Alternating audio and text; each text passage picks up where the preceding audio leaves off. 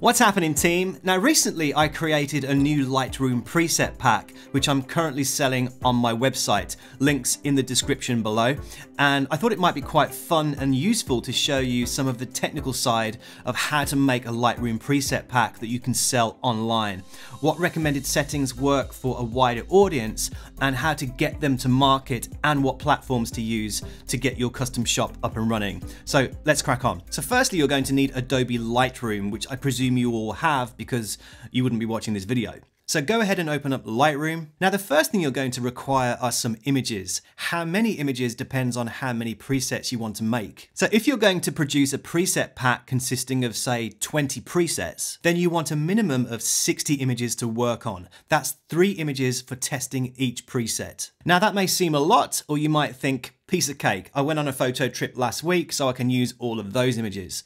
Well, not necessarily. You need to have a good variety of images. You need to come up with a list of genres you think other photographers might be using presets for. For instance, street photography, landscapes, portraits, product photography, etc. And then choose three different images per genre. They could be shot at different times of the day, have different white balance. If you're choosing portraits, make sure those images differ either in skin complexion or gender. Are they shot outside or inside a studio? If it's landscapes, maybe include scenes with water and without shot either in golden hour or blue hour you get the idea. And also make sure those images are RAW files and not JPEGs because presets work better and function properly when used with RAW files and have the most impact. So once you have all of your images in your folder, import them into Lightroom so you have three images per preset. Now the first and most important rule when making a preset pack is that you don't want to change the white balance sliders. Now why is that? Because you're creating presets that other photographers are going to use on a variety of their own images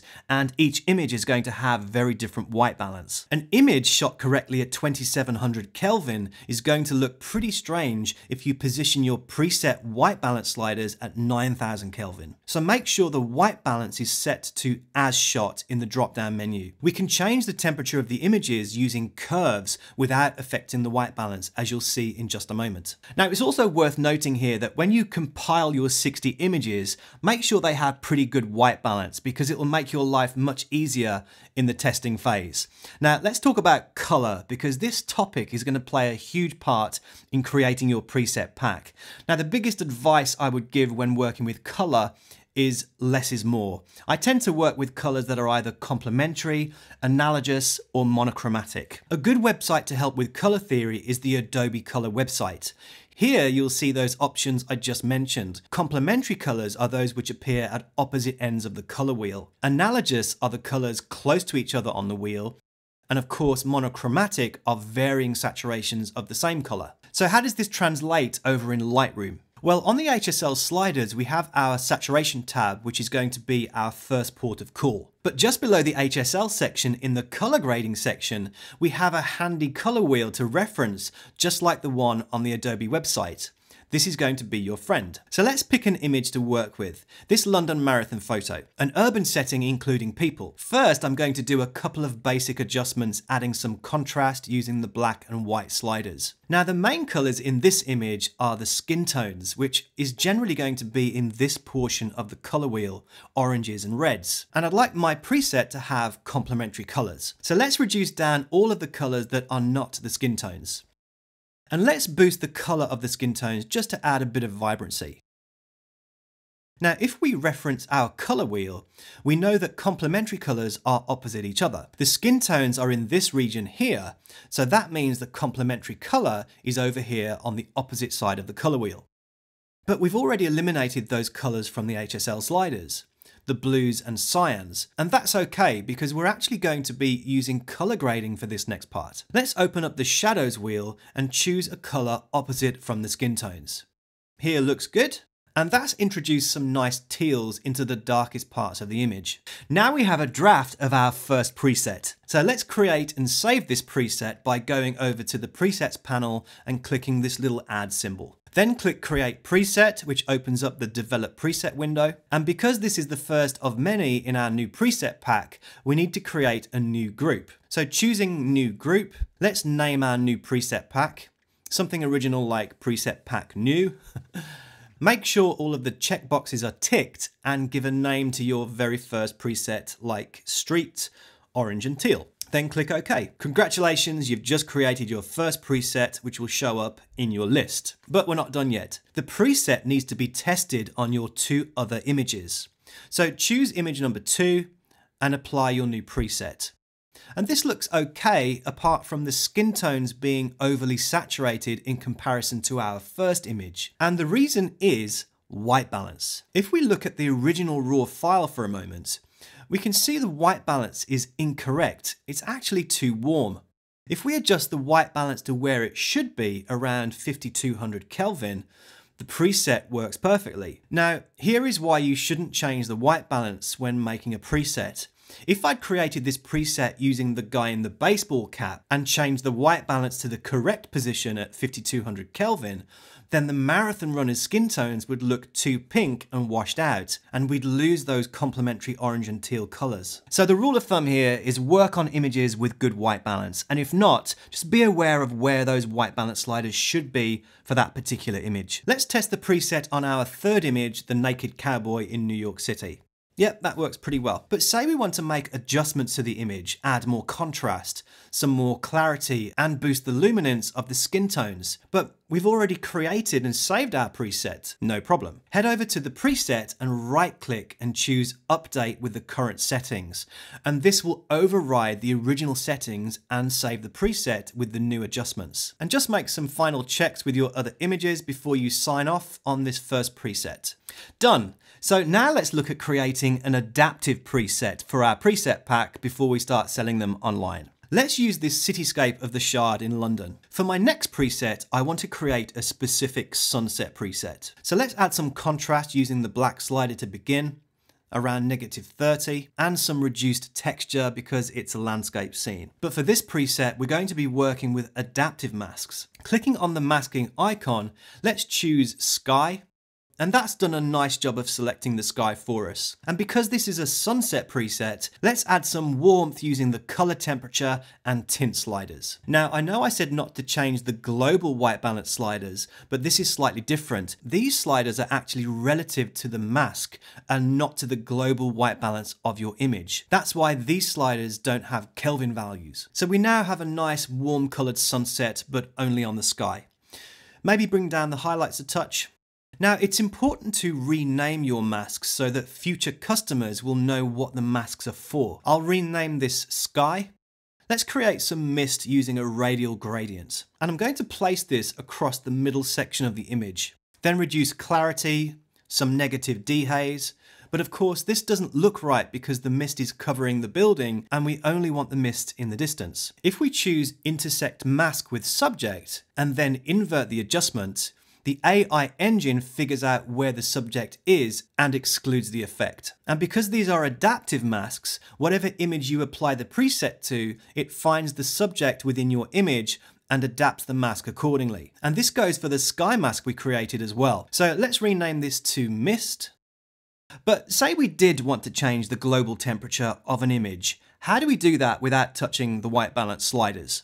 Simple, it's by using tone curves. If we choose the RGB blue channel, let's drag the curve into the blues. And again, these temperature adjustments are relative to whatever global white balance the image has. Another tool at your disposal when adjusting relative color temperature adjustments is calibration.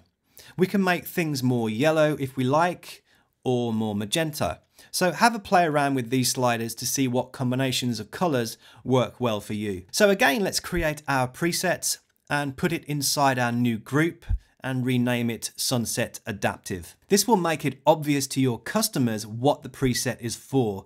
This clearly is not going to work well on a studio portrait. And importantly, don't forget to tick the masking checkboxes so they are included in the preset. So once again, let's test the preset on one of our other images. The sky mask adapts well to the new image, the color is nice, and the mist filter is a movable object and still intersects with whatever subject or objects the AI engine finds in its path. Let's test this preset on one last image. And that looks very nice. Another thing you can do when making a preset pack is the ability to change the names of those presets. I realized I wanted to capitalize the headings so it looks a bit more professional. So once you've completed all of your 20 presets for your new preset pack, it's time to produce the folder which you're going to be uploading to the shop. So you'll want to right click and choose export group and choose a location for the folder and click save. That's it, simple as that. And here you'll see the exported zipped folder with all of your XMP files. You'll want to keep this folder zipped up for when selling on your shop. And speaking of selling, how do we get our newly developed preset pack to market. You could try using Squarespace, which enables you to sell digital content, which of course is a must. Another option is Shopify, where you can get started for as little as a pound a month with fees. Or the one I opted for was Sellfy. With a basic monthly price of $22, you can sell up to $10,000 of presets per year with no extra costs, apart from the transaction fee when using PayPal or Stripe to receive payments. If you exceed the $10,000, then Sellfy will get in touch with you and put you on the new business plan for $59 a month. The basic plan still gives you unlimited products to sell, digital products, which is what our preset pack is, and you can connect your own web domain if you so wish. So let's assume you've opened an account with Sellfy and you're ready to start selling your preset pack.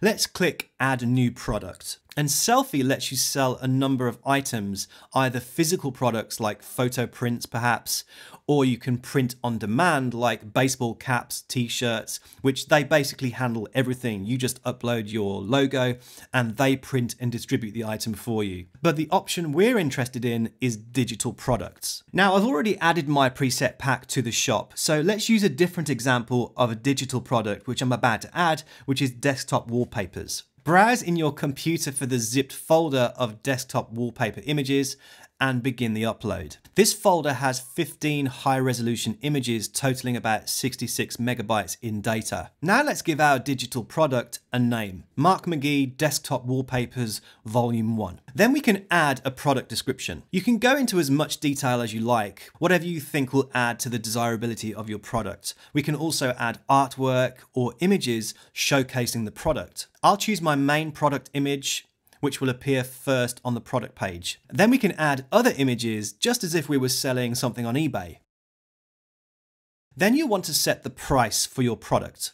I'm going to settle on £15 and you can set your currency and Sellfy will deal with the back-end conversion rates for wherever your customers are based. You have the option to set whatever people want to pay if your fans are feeling generous. And of course, we can leave the stock as unlimited because this is a digital product, no inventory. Just for now, I'll make my new product invisible from the shop before I save the product while I check that everything looks okay. And here is how the new item will appear on your product page. If we click on the desktop wallpapers, we have the main image with the two additional images, and of course these can be expanded for a better view. We have the price up top, and the Buy Now button, which clicks through to the checkout. And you can pay with Google Pay if you have that set up, or Apple Pay, or standard bank cards. The email field is what Sellfy uses to send confirmation to the customer with a download link, although once purchased you have the option to download directly from the shop. So let's look at my actual preset pack. You'll want to create some artwork, perhaps to show off the product. Tell the customers exactly what they're getting. 20 presets for Lightroom and Classic. Some of the presets include adaptive filters, so the latest versions of Lightroom will be required. And inform them that the presets are intended to work with RAW files. And another feature that Sellfy allows you to do is insert HTML code, so you can include a YouTube demo video of the product. So that's pretty much it. It really is that simple. It took me just a couple of hours to get the shop up and running and styled like my main website, uploading all of the artwork and images, writing the descriptions for the products, and setting the pricing. It really is a pretty user-friendly experience on Sellfy. So if you want to purchase my preset pack, I'll leave links in the description below so you can see how I compiled them and what settings I used. So thanks for watching. Hope this little video has given you a bit of inspiration to go out and create your own preset packs. And uh, don't forget to give us a thumbs up for the video and hit that subscribe button below. And I'll catch you next time.